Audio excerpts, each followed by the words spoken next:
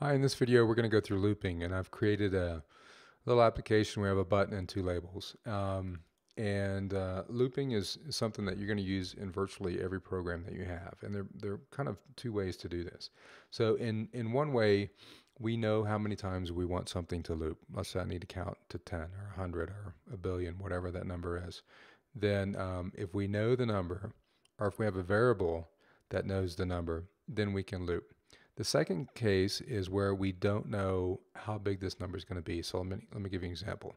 Um, if we were opening a text file, we don't know how many uh, characters of text are, are in uh, this file, then we need to have a condition to say, let's keep reading the file until there's no more text, or give me a line at a time until there's no more text. Or if I was parsing a web page, right? If I wanted to get all the text from this web page, then uh, I would say keep giving me text, you know, one character, one line at a time until there's no more text. So the nuance here is that in one case, we know how many times we want something to, to count. And in the second case, we, we have no clue how long something's going to be. So this is kind of the nuance here, again, the distinction. So in the first case, let's say that, um, that uh, I want to count to 10. And I, I have two variables up here, right? This is our button procedure we I typed in a variable statement, just var, and then I have a character, and then I have a number. And actually, let's just call this i. Um, this will make it easier. So now we go to our, our begin end section here. And uh, what we want to do, the first type of loop we're going to do is, is a for loop. So if I type in for and hit space, you know, the great thing about Delphi is it, it already gives me it does the code completion for me. And I knew it was going to use i for our integer. And so we could just put, put this up here. Now, in this example, we're going to count from low to high, just like it says. So I'll type in 1, and then let's count to 10. All right.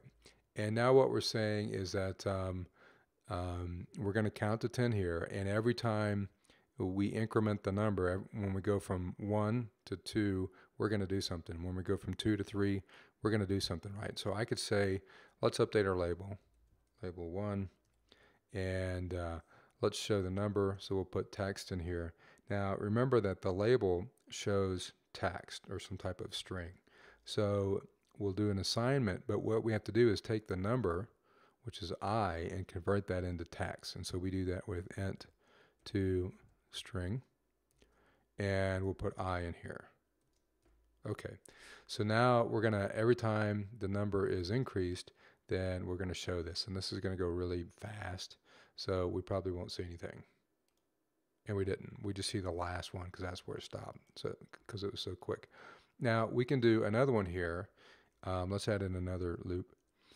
And uh, let's do text this time. So I have my uh, ch, right, for my character. And so we'll put ch here. And let's say we want to go through the alphabet. So I'm going to start with A, and then we're going to go to Z. And uh, each time we increase a number, then we'll update our label. Label 2, text, and this is already text, so we can just do an assignment here and we, we, we're going to put CH. Now, if I made the mistake of putting this in quotes here, uh, it's just going to show CH. It's not going to show the contents of CH. So when we run this,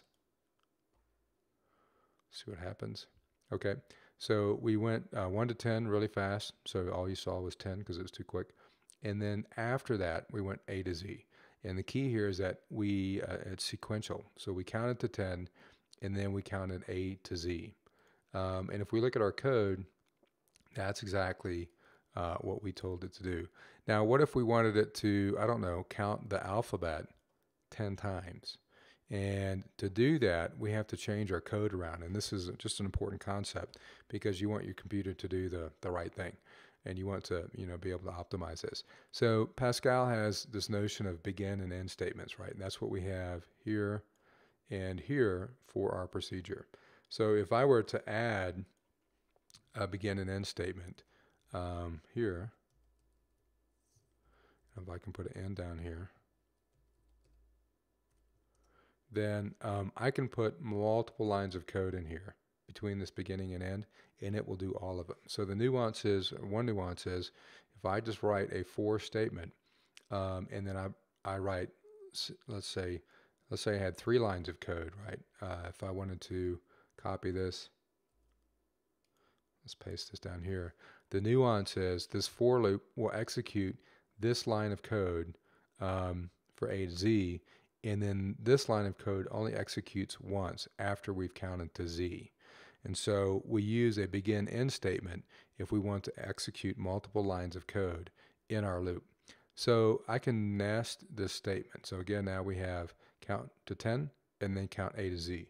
But if I want to count um, through the alphabet 10 times, then I can put this code in here, right? And now what happens is uh, we count from one. Let's start with one. We go to A to Z. And then this thing loops back and I becomes two. And then we count A to Z.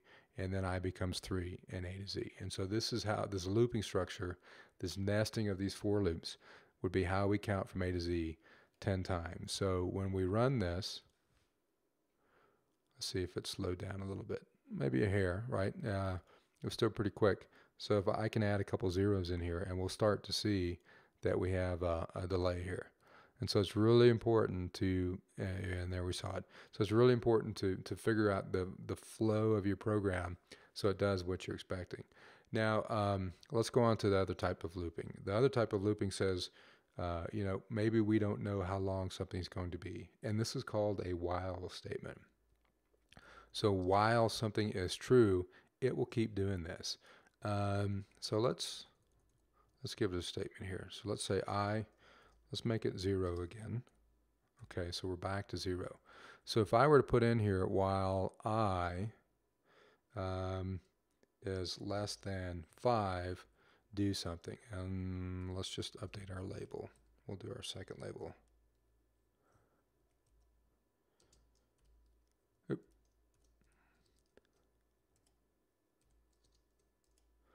i is less than 5. Okay, now at first glance, it looks like this while statement is easier than the for loop. Um, so if, if I just press the button here, I'm going to get what's called an infinite loop. And what that means is uh, my computer is going to run forever. My, you know, you start hearing your fan going, you may run out of memory, and then it could crash. Um, and so this is an important concept. And let's go ahead and run this just so you can see what happens. So when I hit run, you know, we had a pretty good response last time. But when I hit this button, you're going to notice that uh, it's not it's not finishing. So nothing's going on here. In fact, I can't even move this window. It's it's frozen up. So let's kill this process. Do Control Delete. Here's our form. We can see that it's not responding. So this is an infinite loop. And let's look at what um, what happened here. No, we don't need to let Microsoft know we messed up. So let's look at the differences here. So in the for loop, I told it to count from 1 to 1,000. And it does that count for me automatically. So it uh, we start with 1, it goes here, you know, each line, and then it goes back to the for loop, and it makes i equal to 2 and then it makes it equal to 3 and it makes it equal to 4 and it does that count. The while loop does not do that. And so in our example here, we had i is equal to 0. We do the test while i is less than 5, while i is 0, right? Then it's going to print this line. And then after this executes, it does it again. But i is never increased. And so that's our infinite loop because i is always less than 5 and it'll keep going until you run out of power. So uh, what we need to do is force, if, if this is our example, we need to force i to increase. And here's how we, here's how we do that. Um, so we can say i is equal to i plus 1, right? This is one way to do it. If you're used to C or uh, some other language, you know, you're probably used to seeing something like this. i is equal to i plus 1. Well, that doesn't work in, uh, in Pascal. So we have two ways to do this. We can type out i equals i plus 1, or um, we can use a function called increment. So we can say increment i, and uh, that gives us plus 1 4. So again, there are two ways to do it. The important thing is that, um, that uh, we pick one of these ways so that we don't get the infinite loop. So now if I ran this right now, I'm going to get a hang again, right? The computer's going to run forever. And why is that, right? We have our i set to, to be zero. We've told it why i is less than five, do this. And then we've given it a label.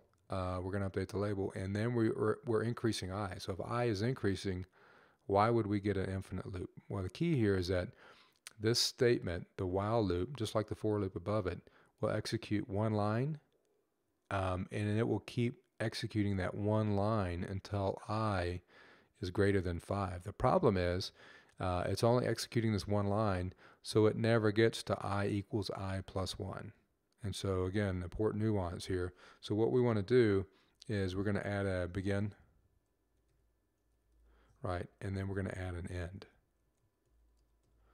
So now what we're telling the, uh, the system to do is execute every line in here, right, if, if, if i is less than 5, complete this entire structure, every line in here, and then go back and do the test. And this gets us out of that infinite loop problem. So when we run this, there we go, i is less than 5. Um, so again, you know, at first glance, while looks uh, easier than for, um, but realize that there's some extra complexity that we need to do it. So typically when we're counting to a number that's known, again, this could be a variable, it could be A, B, C, X, Y, whatever. Um, if we're counting to a known number, we use these. And if we don't know how long something is, again, reading a file, uh, parsing a web page, something like that, you know, while the, uh, while the outside light is on, do something. So we, we want this condition to run for a long period of time and we want the condition to change and we don't know that's when that's going to happen. So that's when we use the while loop. So take care and we'll see you in the next video.